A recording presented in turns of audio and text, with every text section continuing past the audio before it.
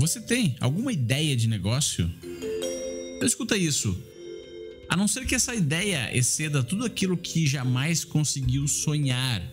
A não ser que ela seja maior do que tudo que você jamais pensou em construir. A não ser que tenha o potencial de transformar a vida de uma quantidade significativa de pessoas e faça uma grande diferença na maneira como o mundo funcione. A não ser que essa ideia lhe desafie suficientemente e lhe tire da zona de conforto para tornar ela uma realidade, desista.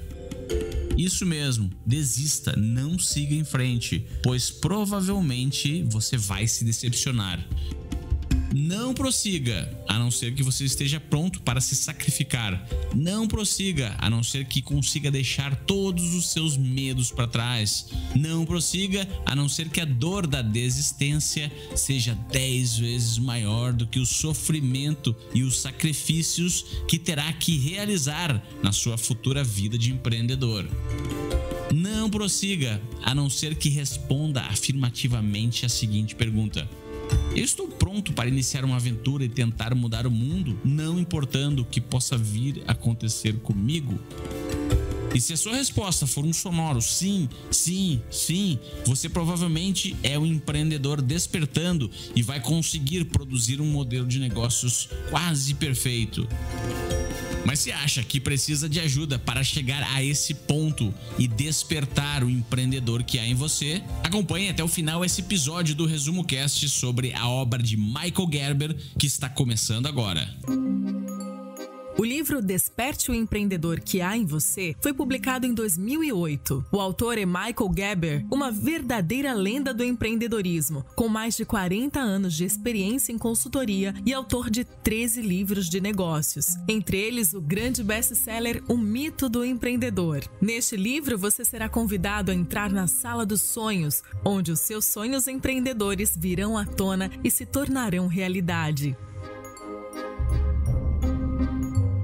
E vamos iniciar esse episódio indo direto para a mensagem central desse livro. Não existe uma metodologia para sonhar. Todos os humanos têm esse dom, mas quando se trata de criar empresas e negócios, é possível deixar o processo mais eficiente se entendermos que existem diferentes eus dentro de cada um. O eu sonhador, o eu pensador, o eu contador de histórias criam as fundações. Aí entra em cena o eu líder, que executa baseado em uma sólida construção. Bem-vindo ao mundo dos sonhos intencionais. Bem-vindo ao processo de despertar o empreendedor que há em você. Empreender é uma atividade que consome tempo, investimento em recursos e a criação de um modelo de negócio sustentável. Para transformar sua ideia em um modelo de negócios, ela deve ser maior do que qualquer coisa que você já imaginou antes. De acordo com o autor, todo empreendedor deve passar por quatro estágios: o sonhador, o pensador, o contador de histórias e o líder Cada um deles representa uma pessoa diferente, e conforme vai avançando a cada estágio, no final, o que você pode se tornar é um dono de um grande negócio com destaque no mercado.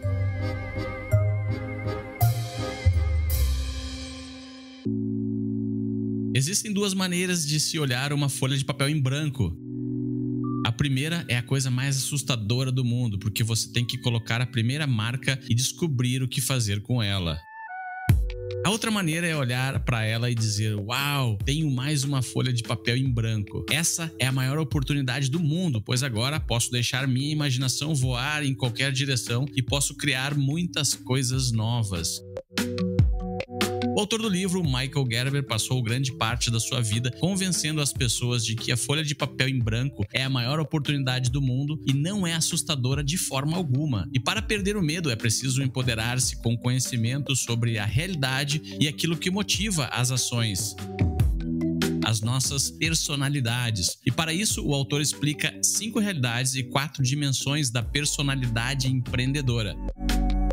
Vamos ver elas agora mesmo Realidade número 1. Um, o empreendedor é um inventor que inventa novas empresas. Ele vê o mundo por meio de olhos vigilantes e bem abertos. Ele sempre pergunta o que está faltando nessa imagem e responde inventando a peça que falta.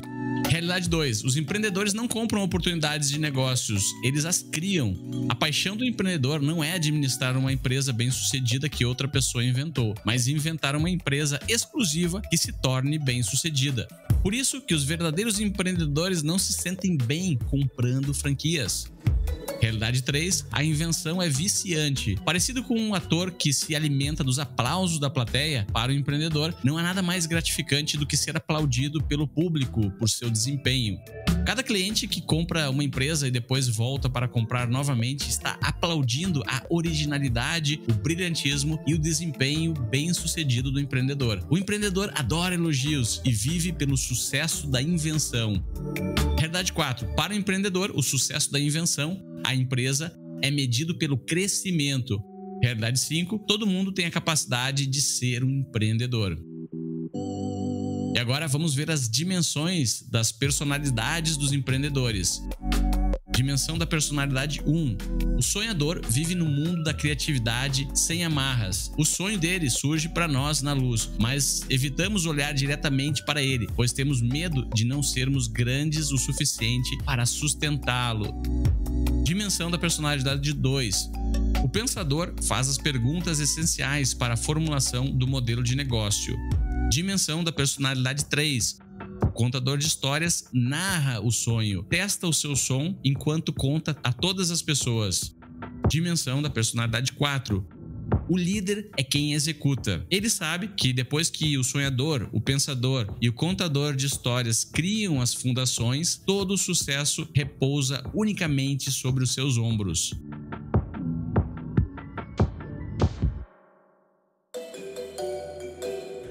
O sonho é o que cria uma nova empresa. Se for um sonho importante, será uma empresa importante. Se for um sonho medíocre, será uma empresa pequena. Você está no meio do despertar. O empreendedor que há em você está falando contigo. Ele está te dizendo que esse momento é mais importante do que você jamais poderia imaginar. Não importa o que escolha fazer. Pare. Concentre-se. Ouça. Sinta. Mas como descobrir se você está sonhando como um empreendedor? O autor do livro dá uma ajuda aqui. Procure por sonhos impessoais, que não dizem respeito a você e sim ao ato da criatividade. Isso é mais difícil do que você jamais poderia imaginar. Tentar chegar ao ponto onde você não importa, só o cliente importa. Pense em um cliente que precisa de algo que não consegue comprar, que deseja algo que ninguém lhe ofereceu até agora. Nesse exato momento, você está iniciando o trabalho do empreendedor. Se você só consegue sonhar consigo mesmo, com a compra da sua casa, com o seu casamento, a sua viagem, a publicação do seu livro, pense em algum momento que você se empolgou ao criar um resultado impessoal. Como quando você dá a um estranho um presente que ele não espera. Como quando você dá a seu filho uma experiência que ele não esperava. Como quando você tenta resolver um problema de outra pessoa, se esforçando muito para descobrir a solução e consegue. E observa o rosto da pessoa quando a solução é descoberta. Eu sei que você já vivenciou essa empolgação verdadeiramente impessoal e sei que você sabe que não há sentimento como esse. Um empreendedor consegue aperfeiçoar a sua habilidade de visualizar um problema alheio e se encanta ao quebrar a cabeça para encontrar a solução. O sonho impessoal é isso, e não há nada mais pessoal do que quando você o tem. Existe um momento em que cada sonhador sabe que é a hora de passar do sonho para o pensamento. Caso contrário, seu sonho vai ficar à deriva. Quando o sonhador termina sua tarefa, o pensador sobe ao palco. O sonho é como ter uma grande ideia para um navio. O pensador é aquele que faz o que for necessário para deixar esse navio pronto para navegar. O pensador sabe os cálculos para a construção do navio, a logística do desenvolvimento do navio, a administração do navio, a soma total do que o arquiteto do navio tinha a intenção de fazer. O pensador não sabe tudo isso logo de cara, mas ele vai descobrir, porque é isso que os pensadores fazem. Eles descobrem as coisas. Eles olham para o quebra-cabeça, para a imagem que ele deve formar e descobrem como essas peças precisam se juntar. O sonhador lida com o que? O pensador lida com o como. O sonhador é o lado direito do cérebro, já o pensador é o lado esquerdo. O autor Michael Gerber, quando estava começando a dar forma para o seu negócio de consultoria de pequenas empresas, passou de sonhador a pensador quando começou a fazer duas perguntas que foram cruciais. A primeira pergunta foi: construir um programa de desenvolvimento de empresas que tem o poder de transformar pequenas empresas do mundo todo? E a segunda pergunta foi: o que um pequeno empresário precisa e não tem? Logo após essas duas perguntas, surgiram as respostas. Na verdade, inicialmente eram suposições, e são essas suposições que devem ser testadas na prática com o objetivo de conseguir uma validação. Então ele chegou a algumas conclusões. Conclusão número 1: um, todas as empresas precisam de uma visão. Uma visão é composta de uma meta primária ligada com o objetivo estratégico da empresa. Desenvolver uma visão exige um processo. Conclusão número 2. Todas as visões são tanto pessoais quanto impessoais. A primeira é a visão para a sua vida, a segunda é a visão para a sua empresa. Juntas, elas devem se combinar para formar uma visão que pode se tornar a força, o impulso para o crescimento do seu negócio. Conclusão número 3.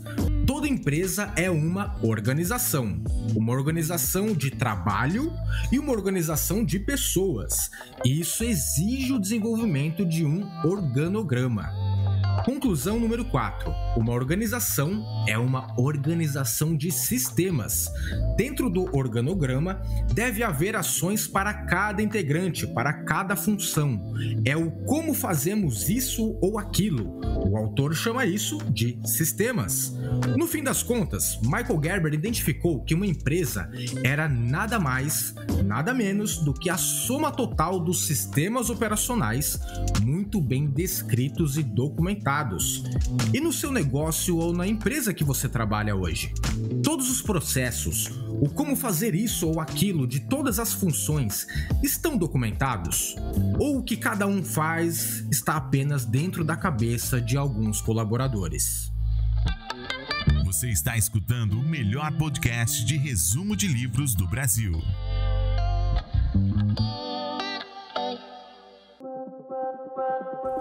Um modelo de negócios descreve o modo como uma empresa gera valor no mundo e capta esse valor na forma de receita, dinheiro.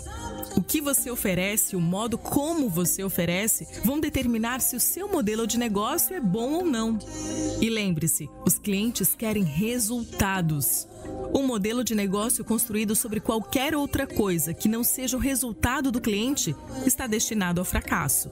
Você sabe qual é o seu modelo de negócio? Muitos se confundem com isso. Por exemplo, você pode até achar que o modelo de negócio da Universidade de Phoenix e da Universidade de Harvard são os mesmos, que tem a ver com educação, mas isso não é verdade. O modelo de negócio da Universidade de Phoenix é desenvolvido para quem quer ter um diploma pelo qual a pessoa pode pagar, em termos de tempo e dinheiro. Já o modelo de negócio de Harvard é desenvolvido para o cliente que deseja ter a melhor educação de elite exclusiva para seus filhos e que podem pagar por isso.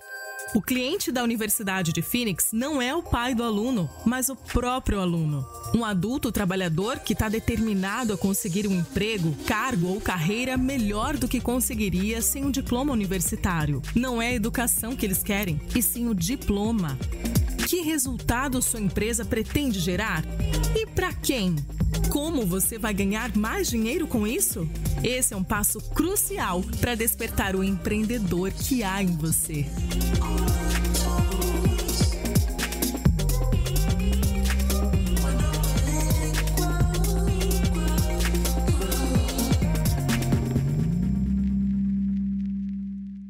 Não são apenas o sonhador e o pensador que fazem todas as perguntas. O contador de histórias também faz. Mas as perguntas do contador de histórias são um pouco diferentes das feitas pelos outros dois. O contador de histórias faz perguntas que trazem à tona a essência do sonho, da visão, do objetivo a partir dos quais todas as grandes histórias surgem a partir dos quais todos os grandes personagens são criados, dos quais a magia tem o poder de impactar os corações de quem estiver ouvindo. O objetivo precisa ser estratégico e estar relacionado com o propósito da organização. Olha só esse exemplo que está relacionado com a nossa história aqui no Resumo Cast. O propósito do Resumo Cast é empoderar a humanidade com o conhecimento dos livros, mas a nossa história é contada com objetivos estratégicos intermediários que funcionam como marcos para atingirmos o nosso propósito. O Resumo Cast iniciou em 2016, quando eu morava em Dubai e estava em busca de um sócio para um MVP de um podcast sobre livros. Foi então que conheci João Cristofolini, um grande empreendedor e palestrante que me ajudou a colocar o canal no ar. Daí em diante, estamos produzindo incessantemente todas as semanas um novo episódio sobre livros para empreendedores como esse. Nosso objetivo estratégico atual é criar o melhor clube do livro do Brasil, que vai proporcionar aos nossos tribers um espaço de desafio e crescimento pessoal para consolidar ainda mais o conhecimento dos livros. Tá vendo? O contador de histórias precisa saber qual é o propósito ou o objetivo. Ele reúne a energia do sonhador e o raciocínio do pensador. Quando existe um objetivo, existe uma história a ser contada. Se for uma ótima história, melhor ainda. O contador de histórias esperto sempre estará à altura da ocasião. A história tem que ser escrita se tiver de ser contada. Você não pode pular essa etapa. Mas se a história vai ser escrita, ela precisa ser contada. Parece confuso isso, não é mesmo? Então, primeiro, conte a história, depois grave. Primeiro dizendo o que lhe vem à mente, depois gravando o que lhe veio à mente, depois memorizando o que você escreveu. O processo de criar a história da The Michael Thomas Corporation, a empresa do autor do livro, se tornou a busca pessoal do santo grau de Michael Gerber e à medida que contava a história mais vezes, as vendas aumentavam, os clientes se fidelizavam, os colaboradores internos ficavam mais motivados e parceiros surgiram para fazer parte dessa história. E se você não sabe por onde iniciar uma boa história, comece descrevendo para uma criança de 5 anos o que a sua invenção faz. E por invenção, entenda a sua empresa. Depois, você pode se inspirar em algumas dessas perguntas para prosseguir na história. 1. Um, como surgiu a ideia do negócio? 2. Como o negócio ajuda as pessoas? 3. Qual o público que o negócio serve? 4. Como o negócio faz dinheiro? 5. Qual a estratégia para a operação da empresa? 6. Qual o maior diferencial do negócio? 7. Qual as expertises e recursos chaves do negócio? 8. Quais os comportamentos ideais e competências das pessoas que fazem parte do negócio?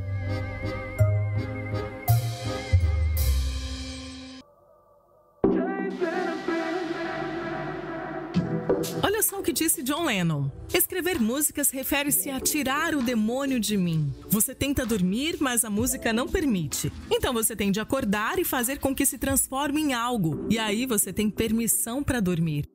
Então, a solução é deixar vir. Cada um dos grandes empreendedores que criaram algo significativo sabem as suas histórias inconscientemente e suas vidas são uma projeção dessa história. Você está começando a sentir a urgência de tudo isso? A urgência de despertar aquele que deseja escrever e falar, que deseja descobrir a sua voz, aquele que está cansado de não criar, aquele que está cansado de ver você trabalhar para se sustentar, aquele que está cansado de ser anulado, que está cansado de não ser ouvido.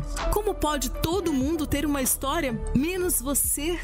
Por outro lado, no mundo existem pessoas em conflito que não precisam estar em conflito. Pessoas se esforçando sem necessidade, com problemas, angústias e ansiedades que não precisam ter. Essas pessoas estão em toda parte. Mais de 6 bilhões delas. Será que você pode resolver o problema que elas têm? Tudo o que você precisa fazer é procurá-las, observá-las e conhecê-las. Sonhe com elas. É aí que está a sua ótima história. Você, no final das contas, é o mestre de todo esse conjunto de eus que há em você: o sonhador, o pensador, o contador de histórias, o líder. Todos dependem de você. Todos eles estão olhando para você e fazendo as perguntas. Vamos fazer isso? Temos o sinal verde? Vamos despertar? Resumo Cast Livros para empreendedores. De acordo com o autor, todo empreendedor deve pensar em liderança antes da empresa ser criada, na etapa da liderança em que há uma folha de papel em branco. Branco, no entanto, com várias advertências. Sonhador, o pensador, o contador de histórias já fizeram seu trabalho. Há um sonho em andamento, bem como uma visão e um objetivo, todos prontos para definir a missão. Várias coisas foram feitas para proporcionar a lógica suficiente para a missão gerar um compromisso apaixonado do líder, com o intuito de levá-la adiante. A história tem pernas, é uma história móvel. O líder tem confiança não apenas em conseguir contar a história, mas sim em ficar empolgado ao contá-la.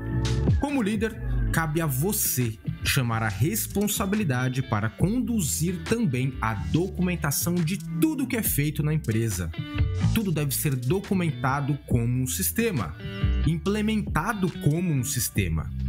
Esses sistemas se tornarão parte significativa do modo de pensar operacional da sua equipe. E os sistemas têm que significar algo para os nossos funcionários e para as pessoas com quem trabalhamos. Sistemas são criados para entrar na estrutura da empresa de modo que qualquer pessoa, não importa quem, possa usar esse sistema com liberdade para gerar os resultados que a empresa pretende gerar, de acordo com o objetivo estratégico. Entender o sistema exige habilidades de concentração, discriminação, organização, inovação e comunicação que um líder deve aprender a usar, desenvolver e internalizar até mesmo para o crescimento de sua vida pessoal. Nesse livro, Michael Gerber traz uma lista com suas 10 principais crenças relacionadas à liderança. Número 1. Lidere com objetivo. Comprometa-se com sua missão. Número 2.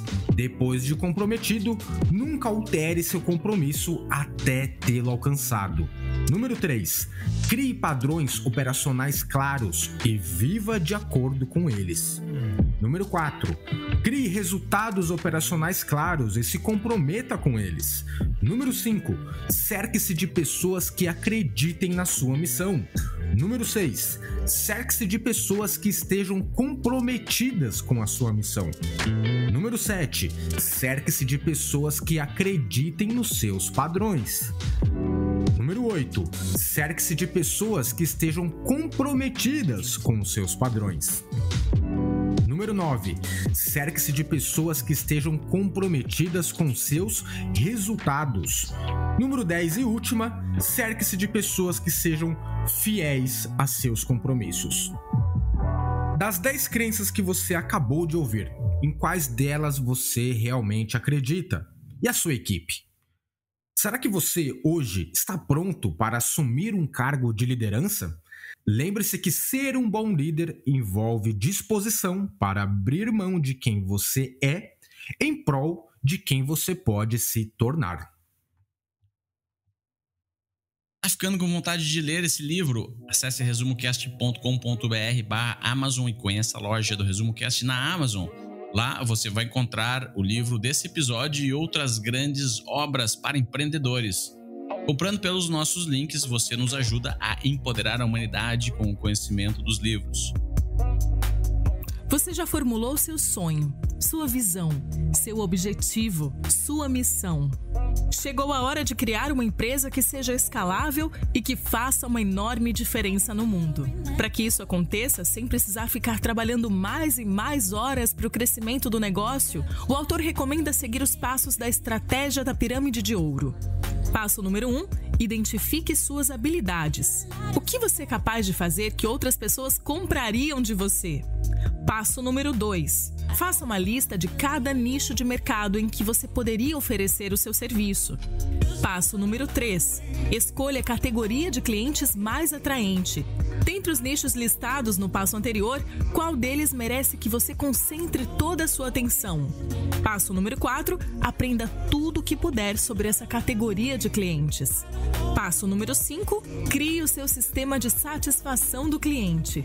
Defina como isso vai acontecer desde o primeiro até o último contato com o cliente ao longo de todo o relacionamento com eles. Passo número 6. Crie o seu sistema de conversão e geração de leads. O que acontece quando um cliente indica outro possível cliente para adquirir o seu produto ou serviço? Como seus clientes podem indicar e trazer mais clientes para comprarem o seu produto ou serviço? Passo número 7. Documente todo o sistema e todos os processos, como se o seu negócio fosse uma franquia. Passo número 8 treine seu primeiro praticante substituto. Utilize a documentação dos processos para treinar alguém em seu lugar. E se certifique que esses processos estejam documentados de uma forma intuitiva e autoexplicativa. Só depois de seguir esses passos é que você irá começar a estar apto para criar um sistema de gestão empresarial e multiplicar o crescimento da sua empresa. Para quem é esse livro? É para pessoas comuns que têm a esperança de um dia se tornarem empreendedores e para aqueles que já estão tentando entender e desbravar a fascinante arte de inventar empresas e modelos de negócios. Rafael Pires, recomendo esse livro para quem está pensando em começar um negócio próprio ou até mesmo para quem já tem um negócio, mas se vê refém dele, trabalhando cada vez mais horas e não tem tempo para escalar o negócio. E o resumo do livro Desperte o Empreendedor que há em você fica por aqui. Um grande abraço de toda a nossa equipe até a semana que vem com mais um grande livro para empreendedores. Melhor forma de aprender é ensinando. Compartilhe estas ideias com alguém e nos ajude a empoderar a humanidade com o conhecimento dos livros. Para saber mais, visite resumocast.com.br.